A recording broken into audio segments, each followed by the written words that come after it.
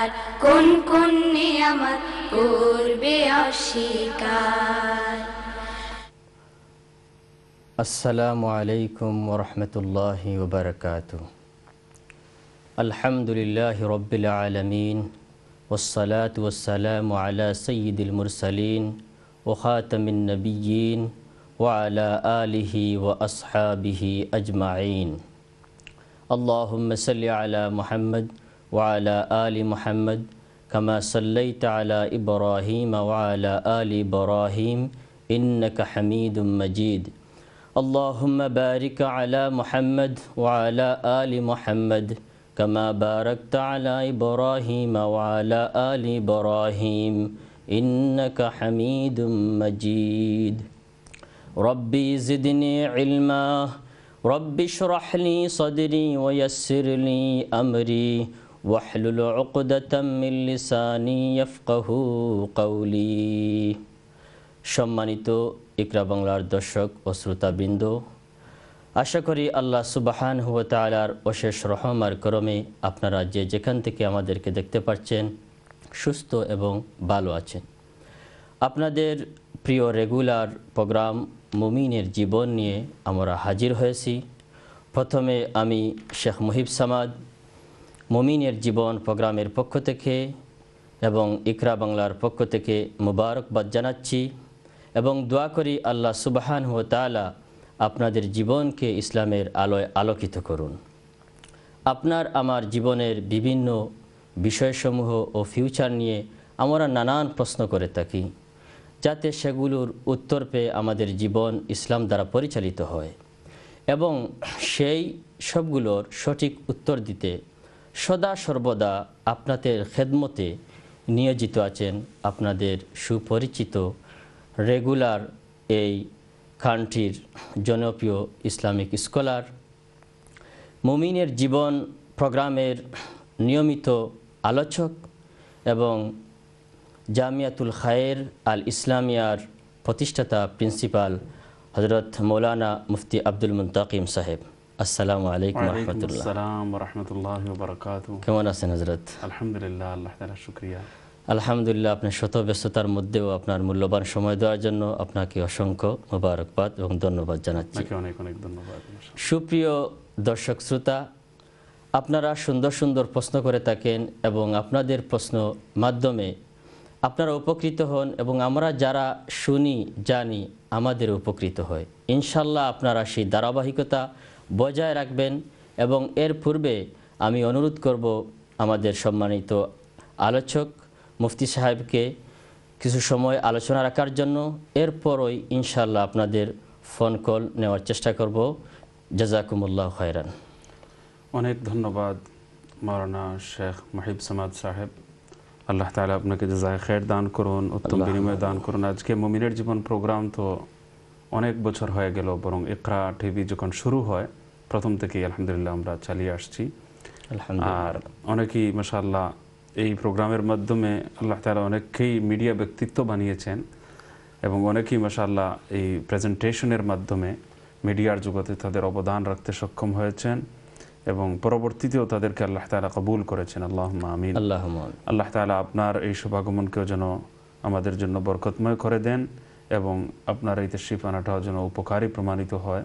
জাজাকাল্লাহ খেরান আল্লাহ তালা আপনাকে যেন কবুল মঞ্জুর করেন এই দোয়া করছি এবং এই প্রোগ্রামকে এত কষ্ট করে তা মানে দূর থেকে আসতে হবে আপনাকে এই কষ্ট স্বীকার করে এগিয়ে নিয়ে যাওয়ার জন্য তৌফিক দান করেন আল্লাহ আলহামদুলিল্লাহ ওকফা ওসালাম আলা ইবাদিহিল্লাদিন اصطفى لا سيما على سيد الرسل وخاتم الأنبياء وعلى آله وأصحابه أجمعين وعلى كل من تبعهم بإحسان إلى يوم الدين أما بعد قال الله سبحانه وتعالى وذكر فإن الذكرى تنفع المؤمنين وقال سبحانه وتعالى ادع إلى سبيل ربك بالحكمة والموعظة الحسنة وجادلهم بالتي هي أحسن صدق الله العظيم وصدق رسوله النبي الكريم ونحن على ذلك لمن الشاهدين والشاكرين والحمد لله رب العالمين وبعد সম্মানিত দর্শক শ্রোতা মুমিনের জীবন প্রোগ্রামে আমিও আপনাদেরকে অন্তরের অন্তঃস্থল থেকে ধন্যবাদ এবং মুবারকবাদ জ্ঞাপন করছি। আল্লাহ তালা সকলের অংশগ্রহণকে যেন কবুল, মঞ্জুর করেন। এই মুমিনের জীবন প্রোগ্রাম যেন আমাদের সকলের জন্য নাজাতের ওসিলা হয়। আমাদের পরকালীন সবচেয়ে বড় পাথেও যেন প্রমাণিত হয়। এবং আল্লাহ তাআলা আমাদেরকে যোগ্যতা এবং উপযুক্ততা দ্বারা যেন ধন্য করেন। সবাই যাতে উপকৃত হতে পারেন, সবাই যেন জীবন ঘনিষ্ঠ ভালো ভালো প্রশ্ন নিয়ে এই প্রোগ্রামকে প্রাণবন্ত করে তোলেন, সেই তৌফিক যেন আল্লাহ তালা সবাইকে দান করেন। আপনাদের কলগুলোর দিকে যাওয়ার আগে, প্রশ্নের দিকে যাওয়ার আগে কিছু কথা বলার প্রয়াস পেয়ে থাকি। এরই অংশ হিসাবে আজকে মন চাচ্ছে দু একটি কথা বলতে, ওয়াজ, দাওয়াত এবং নসিহাত সম্পর্কে। আল্লাহ তালা কোরআন শরীফের মধ্যে বলছেন যে ওয়াজাক্কির ফাইন্না যিকরা তানফাউল মুমিনিন। হে নবী মুহাম্মদ সাল্লাল্লাহু আলাইহি ওয়াসাল্লাম, আপনি লোকজনকে নসিহত করুন, উপদেশ দিন, ওয়াজ করুন, নসিহত করুন, উপদেশ দিন। নিশ্চয় ওয়াজ, নসিহত মুমিনদেরকে ফায়দা পৌঁছায়, মুমিনদের উপকারে আসে। আমরা অনেক সময় কোথায়, কোথার ছলে বলে ফেলি এই এত ওয়াজ হচ্ছে, এত প্রোগ্রাম হচ্ছে, এত ওয়াজ দিন রাত হচ্ছে, কই আমাদের ভাগ্যের তো কোনো পরিবর্তন হচ্ছে না। মানুষ তো আর ঠিক হচ্ছে না, এই ওয়াজগুলোর কোনো লাভ নাই, কোনো ফায়দা নাই। অথচ এই কথাটা আল আয়াজবিল্লাহ আলী আজিম আল্লাহ তালার কথার সঙ্গে সাংঘর্ষিক হয়ে যাচ্ছে।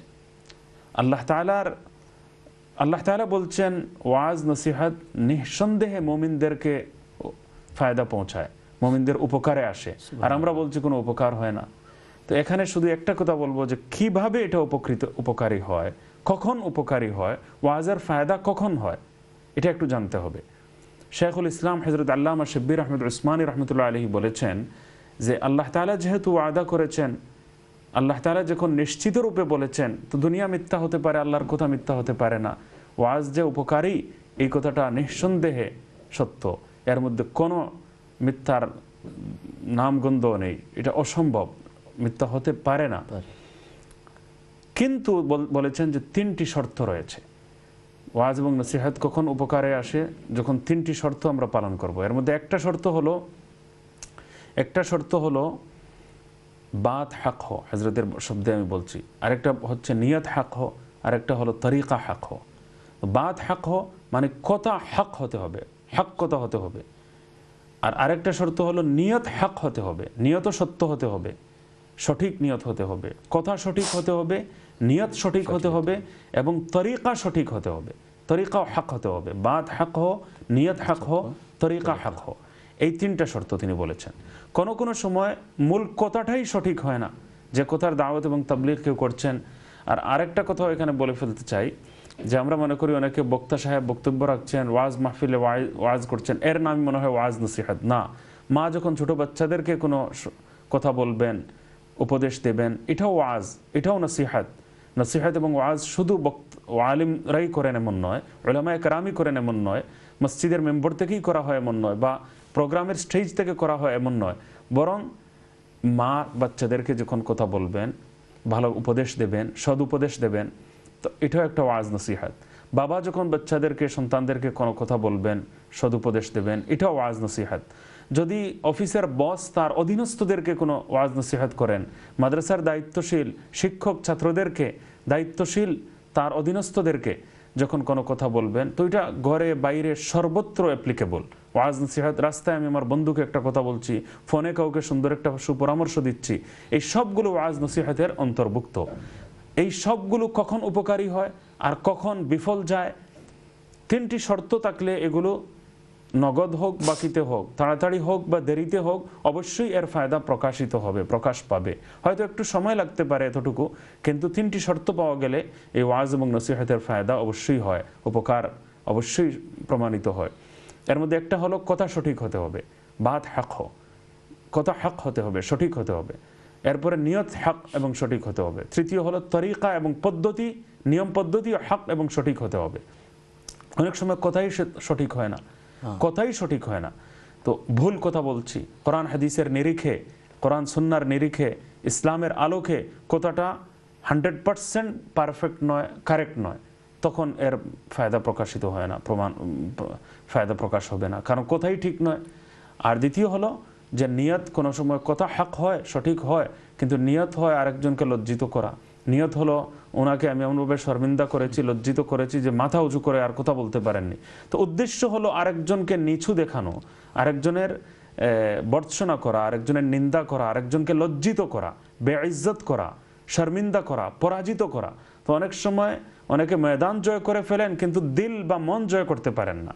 তো এমন ওয়াজের দ্বারা আপনি জনগণের সামনে হয়তো ময়দান জয় করে ফেলতে পারবেন আর্গুমেন্টে ডিবেটসে বিতর্কে আপনি জয়লাভ করে ফেলতে পারবেন কিন্তু আপনার মন জয় করতে পারবেন না আর এই ওয়াজের ফায়দা হবে না ওয়াজ উপকারে আসবে না কারণ কি নিয়ত সঠিক নয় কথা সঠিক ছিল কথা হক ছিল কিন্তু নিয়ত সঠিক নয় আরেকজনকে বেইজ্জত করা অসম্মানিত করা লজ্জিত করা এই ধরনের নিয়ত আমাদের প্রায়ই চলে আসে বা আরেকজনকে পরাজিত করা উদ্দেশ্য হয় আরেকজনের খের খাহির জজবা মঙ্গল কামনা কল্যাণ কামনা, আল্লাহর সন্তুষ্টি অর্জন এবং আরেকজনের সংশোধন।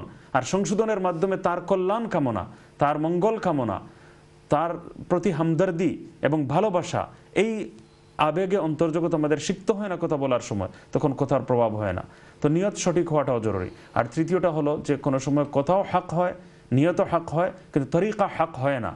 তরিকা হাক হওয়ার অর্থ হলো সুন্নতে আম্বিয়া অনুযায়ী হতে হবে। নবীগণের সুন্নত তরিকা অনুযায়ী হতে হবে, শক্ত ভাষায় কথা বললে হবে না, নরম ভাষায় কথা বলতে হবে। আল্লাহ তারা তার দুইজন নবী হজরত মুসা আলি ইসলাম হজরতে হজরতে হারুন আলি ইসলাম দুইজন নবীকে, বরগুজিদা নবী, তাদেরকে সবচেয়ে বড় বাতিল ফেরাউনের কাছে পাঠিয়েছেন নসিহতের জন্য এবং ওয়াজ করার জন্য। আল্লাহ জানতেন যে সে মানবে না।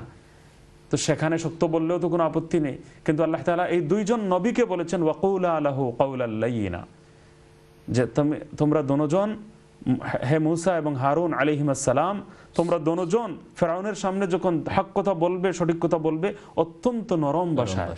কোমল ভাষায় মার্জিত ভাষায় কথা বলবে সুবহান আল্লাহ তো হজরত মুফতি মোহাম্মদ শফি সাহেব রহমতুল্লাহ আলী আমার দাদা উস্তাদ উস্তাদের উস্তাদ তিনি রহমতুল্লাহ আলী তফসির মারিফুল কোরআনের মধ্যে উল্লেখ করেছেন যে যদি মুসা আলি ইসালামের মতো হকের ঝান্ডাবাহী এত হকের প্রতীক আল্লাহর নবী এবং এত বড় জলিলুল কদর নবী হওয়া সত্ত্বেও যদি তাদের ফেরাউনের মতো বাতিলের সামনেও কথা বলার সময়, শক্ত ভাষায় কথা বলার যদি ইজাজত না থাকে থেকে থাকে, তাহলে আমি তো মুসা আলি ইসলামের মতো হকের ঝান্ডাবাহী নই।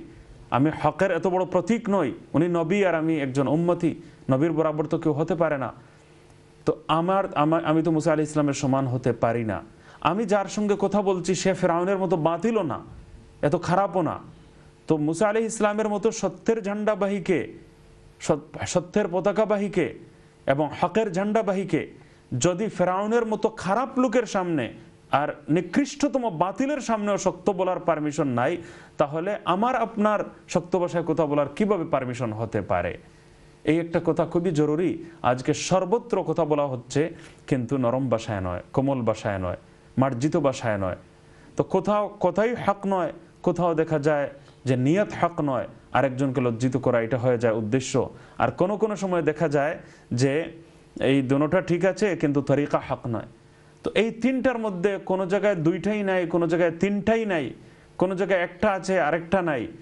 আর এই সব কারণে নসিহাত উপকারী প্রমাণিত হচ্ছে না, ওয়াজের ফায়দা প্রকাশ পাচ্ছে না, উপদেশের ফায়দা আমাদের সামনে পরিষ্কার হচ্ছে না। তো এই তিনটি ভুল যদি আমরা আমরা শুধরাতে পারি এবং আমাদের কোথাও যদি হক হয়, কোথাও যদি সত্যের নিরিখে সঠিক হয় নিয়ত যদি পরিশুদ্ধ হয়, হক হয়, মঙ্গল কামনার আবেগ যদি হয়, আর যদি তরিকা সুন্নতে আম্বিয়া অনুযায়ী হয়, তাহলে কোনো কারণ নেই যে আমাদের সদুপদেশ উপকারে আসবে না, ফায়দামন্দ হবে না, উপকারী প্রমাণিত হবে না। এটা আমার ছোট বাচ্চাদের বেলায় বাচ্চারা কথা শুনে না। এর পেছনে এগুলোর কারণ রয়েছে। আমার ভাই আমার কথা শুনছে না আমার অধীনস্থ আমার কথা শুনছে না বক্তব্য রাখছি লোকজনের ফায়দা হচ্ছে না। তো এর পেছনে এই সমস্ত কারণ নিহিত রয়েছে। আমরা প্রত্যেকেই কিন্তু নসিহাত করি ওয়াজ করি সদুপদেশ দেই সুন্দর পরামর্শ দেই। এগুলো উপকারী প্রমাণিত হওয়ার জন্য এই তিনটি শর্ত আমাদের লক্ষ্য রাখতে হবে। আল্লাহ তারা যেন তৌফিক দান করেন। আল্লাহ আমিন। জাজাকুমুল্লাহ খাইরান। মাশা আল্লাহ তো সুন্দর এবং সাবলীল ভাষায় আপনি নসিহত পেশ করলেন। আল্লাহ আল্লাহ তাআলা যেন সুবহানাহু ওয়া কবুল মঞ্জুর করেন এবং আমাকেও প্রথমে যেন আমল করার তৌফিক দান করেন এটা হলো সবচেয়ে বড় জিনিস। আমি একটা বলতে চাচ্ছি মুফতি সাহেব ওই যে একটি কথা আছে না নরম কথা বলার কারণে যে পাথরও গলে যায়। সুবহানাল্লাহ। তো আসলে এটা আমরা একটু লক্ষ্য করছি বিশেষ করে ইদানিং যে মানুষের যে ওয়াজ নসিহত করেন অত্যন্ত শক্ত ভাষায় এবং খুবই রাগান্বিত অবস্থায় হয়ে যায়। সেগুলো আসলে ইসলাম কতটুকু হ্যাঁ এটা এটা খুব জরুরি আপনি প্রশ্ন এনেছেন বর্তমান সময়ে। আমি তো এটাকে আরও ব্যাপক করতে চাই। মা বাচ্চাদেরকে অনেক সময় ভালো কথা বলেন কিন্তু এত রাগ করে এত গালি দিয়ে এক বাবা বলছেন নিজের ছেলেকে আর এই দেশের মতো জায়গায় যে এই ফুয়া যদি কথা হনস্নাত হইল নাইফ ভরে দিমু। এই নাউজুবিল্লাহ তো সে এই কথা কথার কীভাবে এই প্রভ- প্রভাব নেবে কীভাবে সুন্দর আসার নেবে সে বড় হওয়ার পর বলবে আমার আব্বা আমাকে এই ভাষায় কথা বলেছেন। তো এই সমস্ত কথার কথার তরিকাই ঠিক হচ্ছে না। কোনো সময় তো সঠিক সদুপদেশই হচ্ছে না কথা সঠিক হচ্ছে না কোনো সময় নিয়ত সঠিক হচ্ছে না। প্রায় মানুষকে আমরা দেখি যে আমরা বলি যখন তখন উদ্দেশ্য হলো আজকে এমনভাবে হইছি আর মাথা বাফড়ায় আর মাথা তুলতে পারছেন না। নিয়ত আর মানে তান রে ইলা লজ্জিত করছি সকলের সামনে তান মানে ইলাখান হেট হইছে মাথা নিচু হইছে আর তাই লজ্জিত হইছেন যে মাথা তুলি আর মাথা পারছেন না। ওলা ওলাখান বেজ্জত করিয়া আইছি আজকে। এটার উপরে প্রাউড করা হয়। এই যে প্রাউড করা হয় এর উপর গৌর এটার জন্য লজ্জিত হওয়া প্রয়োজন যে আমার কথার দ্বারা আরেকজনকে আমি লজ্জিত করা। আমার নিয়ত ঠিক নয়। কথা সঠিক হতে পারে কিন্তু নিয়ত সঠিক নয়। কল্যাণ কামনা নয়। এবং আচ্ছা। কল্যাণ কামনা নয় মঙ্গল কামনা নয় এটা একটা দুর্বলতা। আর আরেকটা হলো যে তরিকা শুদ্ধ হতে হবে। নরম এবং কোমল ভাষায় কথা বলতে হবে। দলিল ভিত্তিক কথা বলতে হবে। আপনারা যে আলোচনা করেছেন ইনশাল্লাহ সেই ভিত্তিতে আমাদের দর্শকদের কাছ থেকে আমরা প্রশ্ন নিব। ইনশাআল্লাহ। ইনশাল্লাহ আমাদের সাথে একজন কলার আছেন আমরা কলার নিয়ে নেই। জি ইনশাআল্লাহ। জি কলার আসসালামু আলাইকুম। ওয়ালাইকুম আসসালাম। আমার দুইটা প্রশ্ন আছে। জি খোকা জি খোকা আপনি। যে বৃত্তির নামাজ সম্বন্ধে কি। জি। যে ইন হয়লা রেখা তো ইন্না জালনা পড়লে এটা কিটা ঠিক আছে নে ইন্না জান্না ইন্না জালনা ইন্না আনজালনাহু ফি লাইলাতিল কদর জি জিও জিও হ্যাঁ আর কোনো প্রশ্ন নেই আপনার আর কি তার বাদে রয়েছে প্রশ্ন হয়তো আপনার খুকা জিও আমার আরও জি খোকা আর যদি ইকরা বিক্সিমি আর কি আদা একরকম করলে হইব নি ওই যে বৃত্তির নামাজর জি। জি। ওই একরকম করলে আর কি হইব নি আচ্ছা। ওখান তো আমি জানতাম ঠিক আছে ওকে জাজাকুমুল্লাহ। সুন্দর প্রশ্ন করেছেন উইতিরের নামাজে প্রশ্ন করেছেন যে প্রথম রাকাতে ইন্না আনজালনাহু ফি লাইলাতিল কদর এটা পড়লে ঠিক আছে কিনা? উইতির নামাজ যেহেতু ওয়াজিব নামাজ এই জন্য তিন রাকাতেই তিন তিন রাকাতেই সুরায় ফাতেহা এবং সুরায় ফাতেহার পর অন্য সুরা মেলানো জরুরি। অন্য সুরা নয় করাত পড়া জরুরি। সুরায় ফাতেহার পর কোরআন শরীফের কিছু অংশ পড়া জরুরি। ছোট- তিন আয়াত অথবা লম্বা এক আয়াত বা দুই আয়াত পড়া এটাও ঠিক আছে। তো কোরআন শরীফের মধ্যে এই ব্যাপারে আল্লাহ তালার পক্ষ থেকে পারমিশন দেওয়া হয়েছে ফকরা উমা তৈয়াসারা মিনাল কোরআন। এটা আম ইজাজতের মধ্যে সামিল যে কোরআন শরীফের যে কোনো জায়গা থেকে কেরাত পড়ে নিলে কেরাত শুদ্ধ হয়ে যাবে নামাজ ঠিক হয়ে যাবে কোরআনের অংশ হতে হবে বাস এতটুকু। কিন্তু প্রিয় নবী সাল্লাহ ইসলাম বেশিরভাগ প্রথম রাকাতে ইকরা বিসমি দ্বিতীয় রাকাতে কলিয়া আইহাল কাফিরুন সুরায় কাফিরুন তৃতীয় রাকাতে সুরায় কুলহু আল্লাহ আর এরপরে সুরায় ইখলাস এরপর দোয়ায় কোনো দোয়া করুন। তো এইভাবে পড়াটা বেশি উত্তম হবে। যদি আপনি খালি অন্য কোনো সূরা পড়েন মাঝে মধ্যে সেটাও ঠিক আছে। আর ইকরা বিসমির যদি পূর্ণ পড়তে না পারেন এক রুকু পড়ে নেন বা শুরুর কয়েক আয়াত পড়ে নেন তবুও ঠিক আছে। কোনো অসুবিধা নেই। বা অন্যান্য সূরাগুলো যদি মাঝে মধ্যে পড়েন তবুও ঠিক আছে। এটা যেহেতু ফরজ ওয়াজিব নয় মাঝে মধ্যে হঠাৎ ব্যতিক্রম করাটাও উচিত যাতে এটা ওয়াজিবের পর্যায়ে আমরা এগুলোকে যাতে নিয়ে না যাই। বেশিরভাগ ক্ষেত্রে আল্লাহ নবী পড়ে জাজাকুমুল্লাহ আমরা নেক্সট কলার আছে নেক্সট কলার সালামু আলাইকুম। আলাইকুম। ওয়ালাইকুম আসসালাম। সালাম জি। জি, আমি একটা প্রশ্ন করতেছিলাম জি জি খুব খরুক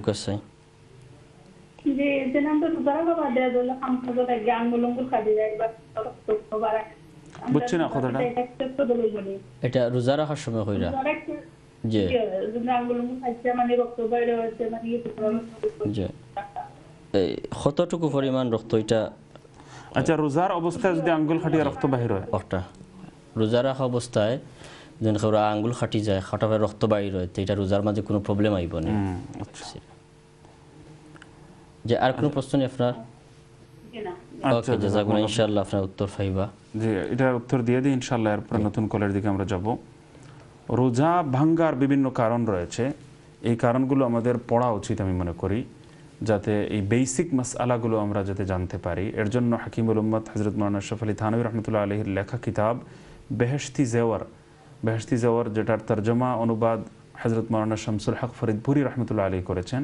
এই অনুবাদটা যেহেতু হজরতের সরাসরি শিষ্য তিনি করেছিলেন পুরাতন বাংলা হলেও সেটা আমি পড়ার পরামর্শ দিয়ে থাকি এগুলো পড়বেন।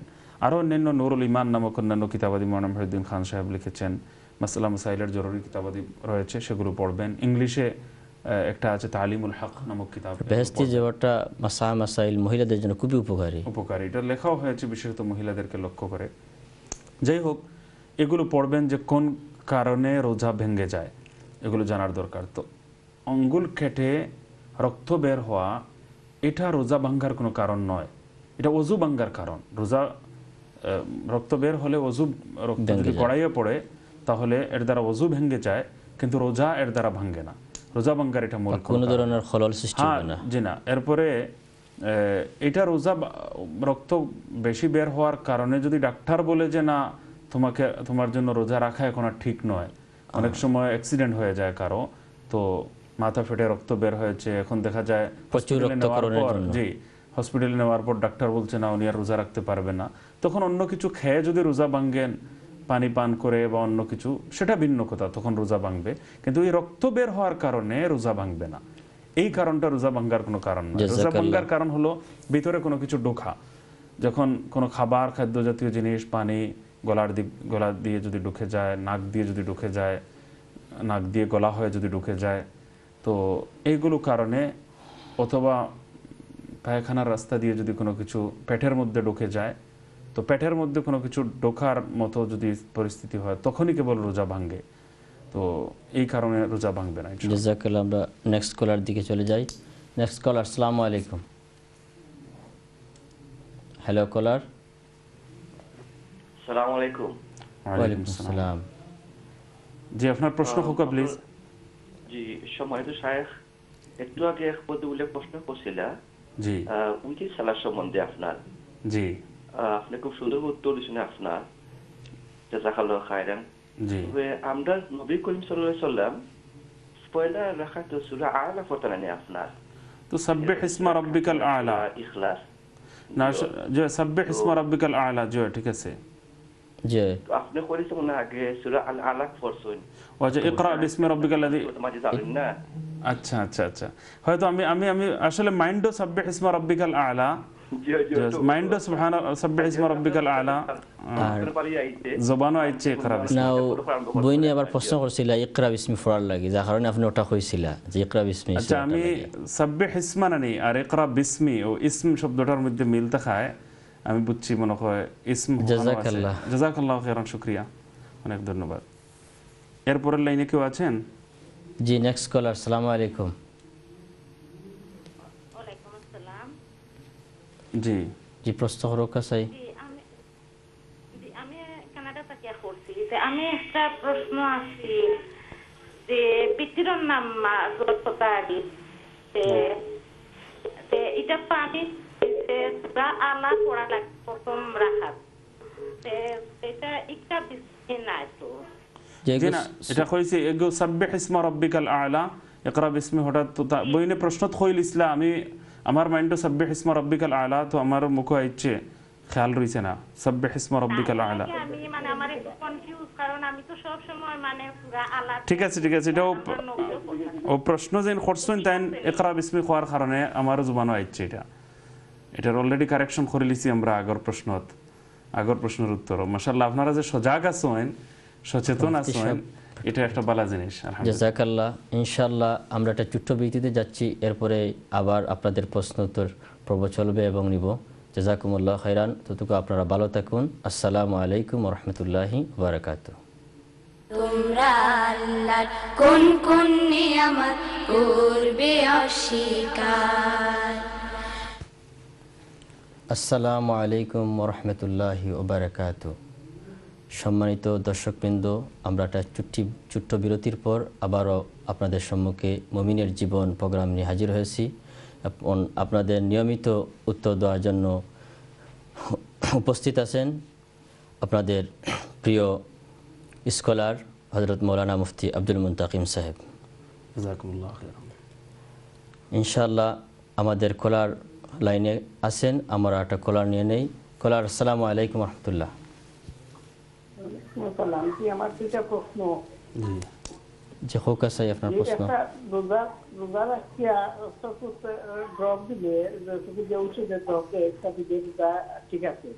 চৌকট ড্রপ নি চৌকট ড্রপর কথা কইরানি চৌকট ড্রপর কথা কইরানি জি। যে ড্রপ দিলে ঠিক আছে। আচ্ছা একটা আর দুইটা দুই নম্বর প্রশ্ন। আচ্ছা জি। ইকরা বিস্মি কোন সুরা জানতে চাইরা আচ্ছা। সূরা আলাক সূরা আলাক হ্যাঁ ওকে ইনশাআল্লাহ আপনার প্রশ্নের উত্তর জি ঠিক আছে মাসাল্লাহ আহ, রোজা রেখে রোজা অবস্থায় আহ, চোখে ড্রপ দিলে বা রোজা ভাঙবে না। এটা ক্ষমাযোগ্য। যদিও এটা সায়েন্টিফিকলি এটা একটা জিনিস প্রমাণিত আছে যে চোখের মধ্যে কোনো পানি ঢাললে এটা একটু চলে যায় গলা পর্যন্ত চোখের রাস্তা দিয়ে চলে যায় একটু চলে যায়। কিন্তু যেহেতু এটা অনেক লাইট অনেক কম এজন্য এটা ক্ষমাযোগ্য এটাকে ধরা হয়নি। কারণ আমরা অজু করার সময় যখন মুখ ধৌত করি তো অবভিয়াসলি পানি চোখের ভেতরে চলে যায়। তো পানির কিছুটা অংশ চোখের ভিতর দিয়ে গলা পর্যন্ত যায়। এমনকি আমরা অজু রমজানের রোজা রাখা অবস্থায় খুলি করি। তো খুলি করার পর যখন আমি পানি বের করে দিলাম, কিন্তু এরপরে কাপড় দিয়ে তো এটা শুকাই না। তো ভিতরের লাইট কিছু অংশ তো যাবেই। এটা থেকে বাঁচা যেহেতু সম্ভব নয় এই জন্য এর কারণে রোজা ভাঙ্গে না। এটা ঠিক আছে। চোখের মধ্যে যদি কেউ ড্রপ দেয়, তাহলে এর দ্বারা রোজা ভাঙবে না, ইনশাআল্লাহ। তো এটা হলো ওলামায় কারামের তাহকিকি ফতোয়া এই ব্যাপারে। তো এর আগে কেউ কেউ হঠাৎ বলে ফেলেছিলেন কিন্তু দারুলুম করাচি থেকেও এটা একটা তাহকিক এবং গবেষণা এই ব্যাপারে বের হয়েছে যে বিভিন্ন দলিলের আলোকে চোখের মধ্যে যদি কেউ কোনো ড্রপ দেন তাহলে ইনশাআল্লাহ তারা রোজা ভাঙবে না রোজা ঠিক থাকবে। আর এরপরে প্রশ্ন করেছেন ইকরা বিসমি কোন সূরা? তো আজকে আসলে সাব্বিহ ইসমা রব্বিকাল আলা এটা আর প্রশ্নকারীর স্লিপ অফ টাঙ্গের কারণে মেবি আমারও স্লিপ অফ টাং আরও হয়ে গেছে। তো উনি বলে ফেলেছিলেন, ইকরা বিসমি, আমার মাইন্ডে সাব্বিহ ইসমা রব্বিকাল আলা। তো ইকরা বিসমি কোন সূরা? এটা আসলে প্রথম যে আয়াতগুলো নাজিল হয়েছিল, ইকরা বিসমে বিসমি রব্বিকাল্লাযী খালাক আল ইনসানা মিন আলাক। ওয়া- ওয়াহির মধ্যে প্রথম যে আয়াত নাজিল হয়েছিল, এটাকে সূরাতুল আলাক বলা হয়। ত্রিশ নম্বর পারার সূরা আলাক। ইকরা বিসমি রব্বিকাল্লাযী খালাক।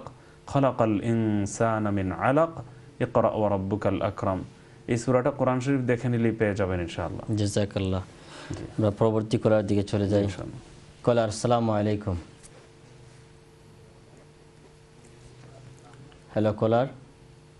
হ্যালো আসসালামু আলাইকুম। ওয়ালাইকুম আসসালাম রহমতুল্লাহ বরকাত জি আপ- আহ, খুব সুন্দর প্রোগ্রাম মৌলানা সাহেব জাজাকাল্লাহ। কিছু কিছু সময় ধরিয়া।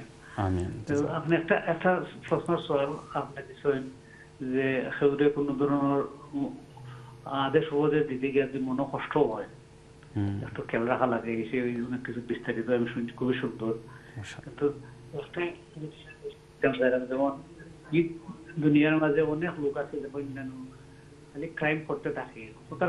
বাজার মাধ্যমে ক্রাইম গালাগালি বকাবকি মারামারি চুরি ডাকাত অনেক কিছু আছে। দুনিয়াদারি দুর্গা কমিউনিটি বিচারক ওই বিচারক রইল করিয়া দুর্গা দ্বারা দোষী সাব্যস্ত করিয়া সকলের সামনে জনগণের সামনে বেইজত করইন কোর্ট কাছারিত গেলেও এটা অমলা করইন কারণ হইল গিয়া এটা আমি মনে করি অন্যান্য মানুষের যাতে এই ধরনের ব্যবহার না মানুষ সতর্কতা হাল লাগিয়া এটা তো মানুষের শ্রম দেওয়ার লাগে করব শ্রম যদি না দেওয়া হয় তো দেখো আমি আমি আমি আপনি থোড়া থোড়া ইয়ে করবার নসিহাত উপদেশ এক জিনিস আর বিচার অন্য জিনিস। একটা প্রপার বিচার জাজমেন্ট শাস্তি দেওয়া। শাস্তির বিধানও আছে ইসলামের মধ্যে, ওয়াজ নসিহতের দিকও আছে। এখন জেনারেলি আমরা ওয়াজ নসিহতের যে একটা ময়দান, উপদেশ দান, আমরা বাচ্চাদের উপদেশ দেই বড়রে উপদেশ দেই ছোটরে উপদেশ দেই বড়রে কোনো পরামর্শ দেই। তো এইভাবে সমাজে অনেক সময় বালা হতাও হল আমরা হই। জেনারেলি উপদেশ প্রদান, ওয়াজ নসিহাত নসিহাত দেওয়া এই জিনিসটা আলাদা আর বিচার প্রক্রিয়া আলাদা একটা জিনিস। তো বিচার প্রক্রিয়ার মধ্যে শক্ত হাতে অনেক সময় অনেক জিনিসকে দমন করতে হয়। সেটা ভিন্ন ব্যাপার। তো আর সেখানে যদি কোনো শক্ত ভূমিকা নেওয়া হয়, তাহলে সেটা ঠিক আছে। কিন্তু নসিহাতের পর্ব যতক্ষণ পর্যন্ত থাকবে, নসিহাতের পর্যায়ে যখন বিষয়টা যতক্ষণ পর্যন্ত থাকবে, তখন এই নসিহাতের একটা আদাব আছে, আদব নিয়ম আছে। সেই নিয়মগুলো আমি বলছি যে কথা সত্য হবে, নিয়ত সঠিক হবে এবং তরিকাও সঠিক হবে আর হেকমত সহকারে যেন হয়। এই কথাগুলো বলছি। একটা আরেকটার সঙ্গে সাংঘর্ষিক নয়। বিচারের সময় শক্ত হাতে প্রতিরোধ করা যায়। কিন্তু ওই সময় তো বিচারের মধ্যে মনে করেন বাড়াবাড়ি করা ঠিক নয়। অনেক সময় একটা ছোট্ট অপরাধ হয়েছে, একটা অবুধ শিশু চুরি করে নিয়ে গেছে। এখন দেখা যায় তাকে গাছের সঙ্গে বেঁধে মেরে ফেলা হচ্ছে। হাত পা ভেঙে ফেলা হচ্ছে। কত এই সিলেটে একটা বাচ্চাকে মেরে ফেলা হলো। তো এগুলো দেখতে হবে যে দারিদ্রের কারণে ছোট বাচ্চা, অবুধ শিশু তার বিচার এবং বড় বড় কেউ যদি হয় তার বিচার দুটার মধ্যে একটু তফাৎ করতে হবে। বা আমাদের থানাগুলোতে অনেক সময় বেশি শাসন করা হয়। বিচার প্রক্রিয়ার মধ্যেও দেখা যায় অতিরিক্ত মারা মারপিট করা হয়। এগুলোর পরিমাণ নির্ধারণ করতে হবে। আসলে এটা বিচার প্রক্রিয়াধীন বিষয়টা আসলে। এটা আসলে এই- বিষয়টার লগে পুরা যায় না। হ্যাঁ এটা একটা আরেকটার সাথে সাংঘর্ষিক নয় দুইটা দুই আলাদা ফিল্ড আলাদা সিট ওইটার মধ্যেও কিছু সংশোধনযোগ্য বিষয় আছে আমাদের সমাজে। যখন কাউকে ধরা হলো তখন একজন একশো টাকা চুরি কর- করেছে এখন তাকে জানে মেরে ফেলা হচ্ছে। তো এটাও তো ঠিক নয়। তো কিছু জিনিস বুঝতে হবে যে আমি কোন অপরাধের জন্য কতটুকু শাস্তি দেব এবং শাস্তির সিস্টেমটা আমাদের সমাজে কি পরিমাণ হবে। বাকি নসিহাত এবং ওয়াজের যে ফিল্ড ওইটা নিয়ে আমি কথা বলেছি। আশা করি আমার ভাই ইনশাল্লাহ এগুলা বুঝতে পারছেন। জি জি। জাজাকাল্লাহ আমরা নেক্সট কলার দিকে চলে যাই। নেক্সট কলার সালামু আলাইকুম।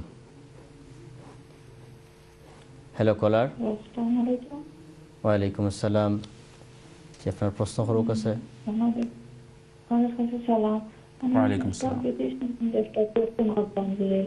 আমি তো তিন জায়গা আমি দুই দিন আমি দুই নিয়মে আমি পড়ি একসাথে তিন রাত পড়িয়া আমি সালাম ফিরাইলাই আর আহ, আর আরেক- আরেকটা নিয়মে পড়ি আমি যে দুই রাত পড়িয়া সালাম ফিরাইয়া তারপরে একলা এক রাখাত পড়ি পড়ি ওই যে দুই রাখাত পড়লাম যে আমি এই দুই রাখাতের সময় আমি নিয়ত কিতা করতাম আর? বাদে যে স্টার্ট করলাম আর এক রাখাত এটা তো বিতির হইয়া পড়তাম। বাট দুই সালাম ফিরাইয়া যে বিতির স্টার্ট করলাম এক রাখাত দুইবার কিটা নিয়ত করা লাগবো না? একবারও আমি বিতির নিয়ত করতাম না। এটা আমি অর্থাৎ আমি ও পদ্ধতিটা নিয়ত কিলা করতাম ওখান তো আমার করতাম আপনি বিতি নামাজের পুরা নিয়মটা জানতে চাইরা এটা নিয়ত সহ। জি। না জি না আমি নিয়ত ঠিক লাগে কিনা দ্বিতীয় অংশে? দ্বিতীয় নিয়মে পড়লে নিয়ত লাগে কিনা এটা? সালাম ফিরাইয়া যে না করে আরেকটা পড়ি। যে ওটা। নিয়ত কি রকম করতে হয়? ওকে ঠিক আছে। ওকে ইনশাল্লাহ মুফতি সাহেব আপনার উত্তর দিবা। আপনার জাজাকুমুল্লাহ খায়রান সুন্দর প্রশ্ন করার জন্য। আমি উইথির নিয়ে ইনশাআল্লাহ তাআলা কোনো দিন আরেকটু সবিস্তারে আলোচনার প্রয়াস পাবো ইনশাআল্লাহ তাআলা। আমাদের এই একটা মাসআলার মধ্যে, বেশিরভাগ মাসআলার মধ্যে বেশি উত্তম আর কম উত্তমের মধ্যে ইখতলাফ বা মত, মতদ্বৈধতা থাকে ইমাম, মুজতাহিদ ইমামদের মধ্যে। যারা মুজতাহিদ ইমাম, ইজতেহাদের যোগ্যতা সম্পন্ন ইমাম যারা রয়েছেন, মুজতাহিদ ইমামগণ ফোকাহায় কারাম, ইসলামী আইন বিশেষজ্ঞগণ, তাদের মধ্যে অনেক মাসআলা নিয়ে ইখতলাফ হয়েছে মতান- মতানৈক্য হয়েছে। আশি পার্সেন্ট বা পঁচাশি পার্সেন্ট মশলাগুলো ঐক্যমতের ভিত্তিতে রয়েছে। ইসলামের বেশিরভাগ মশলার মধ্যে ইখতলাফ নয়। পনেরো পনেরো থেকে বিশ ভাগ মশলার মধ্যে ইখতলাফ আর এই ইখতলাফের মধ্যেও বেশিরভাগ হলো বেশি উত্তম আর কম উত্তমের মধ্যে তোফাত আর জায়েজ না জায়েজের তোফাত আরও কম সংখ্যক মশলার মধ্যে। তো এই যে খুব কম সংখ্যক মশলার মধ্যে জায়েজ না জায়জের তোফাত এর মধ্যে এটা হলো একটা। হানাফি মজহব অনুযায়ী হজরত ইমাম আবু হানিফা রহমতুল্লাহ আলহি এবং তার স্কুল অফ ল অনুযায়ী উইতিরের নামাজ তিন রাখাত একসঙ্গে পড়তে হবে। দুই রাখাত পড়ে সালাম ফিরিয়ে একা আলাদা এক রাখাত পড়ার ঠিক নয়, হানাফি মজহব অনুযায়ী। এটাও হাদিস দ্বারা প্রমাণিত একটা মতামত। অন্যান্য ইমামগণ সেটাকে বৈধ বলেছেন, সঠিক বলেছেন, এটাও দলিলের ভিত্তিতে। তো ওনারাও যে ইখতলাফ করেছেন, এটা হলো এখানে জায়েজ না জায়েজের এক- একটা মশালা যে মুষ্টিমেয় সংখ্যক মশালার মধ্যে কোনো ইমাম একটাকে বলেছেন জায়েজ, কোনো আরেকজন বলেছেন সম্পূর্ণ অঠিক, না জায়েজ। এর মধ্যে এই মাসালাটা এসে পড়ে, এর মধ্যে। তো হানাফি মজহাব অনুযায়ী যে সিদ্ধান্ত বা গবেষণা রিসার্চ আমাদের সামনে এসেছে সেটা হলো যে অন্য একখানা হাদিসের মধ্যে আল্লাহ নবী সাল্লাহ ইসলাম বলেছেন যে এক রাখাত করে নামাজের কোনো মানে। কনসেপ্ট নাই। নামাজ হলে এটা দুই রাকাতের কনসেপ্ট মানে দুই রাকাত হতে হবে নাহা রসুল্লাহ সাল্লাহ আলী ওসাল্লাম আনিল বুথায়রা এক হাদিসের মধ্যে বলেছেন শুধু এক রাকাত করে পড়তে নিষেধ দিয়েছেন বরং মিনিমাম দুই রাকাত হতে হবে। তো এই আর এই সমস্ত হাদিসের জবাব দেওয়া হয়েছে। এই জন্য আপনি যদি ওই নিয়মে যদি ওই মজহাবের কোনো ফলোয়ার যদি হয়, যারা দুই রাকাত পড়ে সালাম ফিরিয়ে আলাদা এক রাকাত পড়াকে ঠিক মনে করেন, তাদের সঙ্গে ঝগড়াঝাটির কোনো প্রয়োজন নেই। যারা যে মজহাবকে ফলো করে পড়ছেন, সেটা ঠিক আছে। যদি চার মজহাবের মধ্যে কোনো মজহাবকে ফলো করে, কোনো ইমামকে ফলো করে যদি কেউ পড়ে থাকেন, তাহলে যে পন্থাই অবলম্বন করবেন, সেটাতে কোনো আপত্তি তোলা বা মুসলমানদের মধ্যে অনৈক্য সৃষ্টি, এটা ঠিক নয়। কিন্তু যারা হজরত ইমাম আবু হানিফা রহমতুল্লাহ আলহি আমরা যারা উপমহাদেশের মুসলমান বেশিরভাগ হজরত ইমাম আবু হানিফা রহমতুল্লাহ আলহি এবং তার স্কুল অফ ল অনুযায়ী কোরআন, হাদিসের উপর আমল করি, আল্লাহ এবং আল্লাহ রসুলকে অনুসরণ করি, আমরা কোনো পার্সনকে, কোনো ইমামকে ফলো করি না, অনুসরণ করি না। আসলে আল্লাহ এবং আল্লাহ রসুলকে অনুসরণ করি, কোরআন, সুন্নাহকে অনুসরণ করি, তবে কোনো মানে ইসলামিক স্কলারের, কোনো মুজতাহিদ ইমামের স্কুল অফ ল অনুযায়ী বা ব্যাখ্যা অনুযায়ী এক্সপ্লেনেশন অনুযায়ী। তো কোনো মানুষই এই এক্সপ্লেনেশন বাদ দিয়ে সরাসরি করতে পারে না ফলো করতে পারে না অনুসরণ করা সম্ভবই নয়। তো এখানে ওনার যে দ্বিতীয় নিয়ম যেটা বলেছেন তো আপনি একসঙ্গে এই দুই নিয়মটা অবলম্বন করা সঠিক নয় এটা সঠিক পন্থা নয় সঠিক পদ্ধতি নয়। হজরত ইমাম আবু হানিফা রহমতুল্লাহ আলহি এবং তার স্কুল অফ ল অনুযায়ী কোরআন হাদিসের গবেষণা সাপেক্ষে এই মাসআলার মীমাংসা এইভাবে দেওয়া হয়েছে যে তিন রাকাত একসঙ্গে পড়বেন। আর র- উইতিরের নামাজ তো একই নিয়তে হবে, যে আমি উইতিরের নিয়ত পড়ছি। তো ওইটা নিয়তের মধ্যে শেষ রাকাতে অন্য মজহাবের যদি কেউ পড়েন, তাহলে উনি থার্ড রাকাতে আলাদা আরেকবার নিয়ত করতে হবে, এমনটা জরুরি বলে আমি মনে করি না। বরং দুই রাকাত পড়ে আর এক রাখাত যে পড়বেন, শুরুতে এক নিয়ত করলেই হবে ওনাদের জন্য। কিন্তু আমাদের দৃষ্টিতে, অর্থাৎ হজরত ইমাম আবু হানিফা রহমতুল্লাহ আলহি ইমামে আজম এবং তার স্কুল অফ ল অনুযায়ী এই পন্থাটা যেহেতু জায়েজের পর্যায়ে আসে না, অন্যদেরটা কোনো প্রশ্ন সাপেক্ষ নয় বা এর উপর কোনো আপত্তি তোলাও ঠিক নয়, এ নিয়ে কোনো ঝগড়া করাও ঠিক নয়, অঠিক বলাও ঠিক নয়। বরং তাদেরটাও সঠিক, কিন্তু আমাদের তাহকিক হলো যে এটা সঠিক। তো আমরা একসঙ্গে দোনোটার উপর আমল করব, সচরাচর এটা যেন না হয়। কোথাও যদি কোনো মুসলিম ঐক্যের খাতিরে যদি করে নিতে হয়, সেটা ভিন্ন কথা। আমাদের ওলামায় কারাম বলেছেন, এটা জায়েজ হয়ে যাবে ইনশাআল্লাহ। একজন সাধারণ মুসলমানের জন্য জায়েজ দ্বিতীয় রাকাতের পরে তৃতীয় রাকাত শুরু করার প্রথমে নিয়ত করা লাগবে লাগবে না ইনশাআল্লাহ। জাজাকাল্লাহ আমাদের কলারসে নেক্সট কলার সালামু আলাইকুম। আপনার টিভির আওয়াজ কমাতে হবে। টিভির আওয়াজ কমিয়ে সরাসরি ফোনে কথা বলুন প্লিজ আপনি আমাদের কথা রিপিট শুনবেন আমরা আপনার কথা বারবার রিপিট শুনব আমরা আমাদের কথা আবার রিপিট শুনব। তো এটা একটু কষ্টকর হয় এবং সময় বেশি নেয় চলে যায় এর দ্বারা। জি আপনার প্রশ্ন বলুন প্লিজ জি। আল্লাহুম্মা আউযু বিকা ওয়াল বাসির জুনুনি উঠবাটা আমার কইয়া দিবা। আমি লেখতাম আমি জি। বৃদ্ধ মানুষ লোক লেখতাম পারতাম না এক কুইন্টাল পড়তে হলে আমার কইবা। জি। ঠিক আছে। ইনশাল্লাহ আপনি দেখতে তাওকা মুফতি সাহেব ইনশাল্লাহ আপনার দোয়া হইয়া দিবা। আল্লাহ মাইনি আউজুবিকা বিল বাসি। না এটা না আসলে একটা একটা দোয়া আছে আমি অনেকবার আগেও বলেছি সেটা হয়তো জানতে চাচ্ছেন। বিভিন্ন ধরনের দুরারোগ্য ব্যাধি থেকে মুক্তির জন্য আচ্ছা। কঠিন রোগ যেমন ওই ভাইরাস জনিত কারণে যে সমস্যাগুলো হচ্ছে বা আরও কঠিন রোগ যে বর্তমান যুগে দেখা দিচ্ছে। হাদিসের মধ্যে বলা হয়েছে অনেক রোগ এমন আছে যেগুলো তোমরা আগে নামও শুনোনি পরবর্তীতে কেমতের আগে এগুলো দেখা দেবে। আজকে এই ধরনের অসংখ্য নতুন নতুন ধরনের রোগ আমাদের সামনে চলে আসছে ভয়ঙ্কর রোগ। তো চায়নাতে এসেছে করোনা একটা ভাইরাস। ভাইরাস। তো এটা এটার কারণেও বিশ্বের মধ্যে একটা পেরেশানি এবং অন্যান্য দেশেও পেরেশানি। তো আল্লাহ যেন এই ধরনের ভাইরাস থেকে মানব জাতিকে হেফাজত করেন রক্ষা করেন। আল্লাহ এই সবগুলো থেকে বাঁচার জন্য আমি গতকালকের প্রোগ্রামে দুটো দোয়া বলেছিলাম। তো আমি চাইব যে এটা যারা রেকর্ড করতে পারেন আজকালকে ফোনের মধ্যে রেকর্ড করা খুব সহজ। তো ফোনের মধ্যে যদি রেকর্ড করে নেন আর আমি যদি এখন পড়ি তাহলে এটা ভালো হবে। যারা পারেন লিখে নিতে পারবেন। তো আল্লাহুম্মা ইন্নি اللهم إني أعوذ بك من البرص برص. اللهم إني أعوذ بك من البرص والجنون والجذام وسيء الأسقام. اللهم إني أعوذ بك من البرص والجنون والجذام وسيء الأسقام. তো হে আল্লাহ আমি আপনার কাছে পানাহ চাচ্ছি আশ্রয় কামনা করছি। পানাহ চাচ্ছি মিনাল বারাসি। বারাস বলা হয় শ্বেত রোগকে। শ্বেত রোগ মানে যে আমাদের সিলেটি ভাষায় বলে দল বেতা রোগ। মানে একটু সাদা হয়ে যায় সম্পূর্ণ কাল শ্যামলা রং আবার ফুল সাদা হয়ে যায় স্কিন। এরপর এটা বেড়ে যায় বাড়তে থাকে। তো চেহারার মধ্যে পুরো সৌন্দর্য নষ্ট হয়ে যায়।